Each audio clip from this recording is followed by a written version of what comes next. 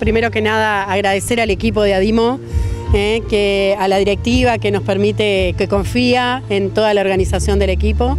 Y bueno, y después hablarle un poco de los objetivos que tiene Adimo, ¿no? Adimo ustedes saben que es una organización fundada en el 2010, con jurídica en el 2013, que bueno, primero éramos padres de personas con discapacidad que integrábamos la organización.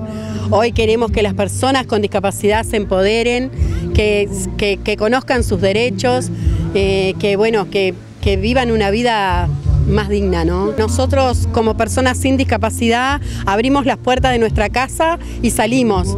Eh, vamos tarde a un trabajo, nos resolvemos, llegamos, nos subimos a una moto, andamos. Las personas con discapacidad no tienen esa oportunidad. Eh, desde que abren la puerta de su casa ya tienen obstáculos, las veredas, los ómnibus accesibles, eh, cómo los incluye la sociedad toda.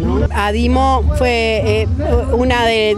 Adimo, la, organización nuestra, fue la organización que empujó para tener a Maldonado, el ómnibus de Maldonado Turismo. Me acuerdo cuando estaba Estelita Ferrer, que quería también recordarlos a ellos, ¿no? Porque bueno, sin los fundadores no tendríamos este cambio que está teniendo Adimo. Que hay mucho trabajo, mucho amor y bueno, y hay un equipo que la está empujando y remando muchísimo. Bueno, nosotros tuvimos, este, hicimos una, actividad con la gente de UNIT. Eh, esos saben que las veredas están en, malas condiciones, pero bueno, nosotros queríamos eh, llegar a más, ¿no?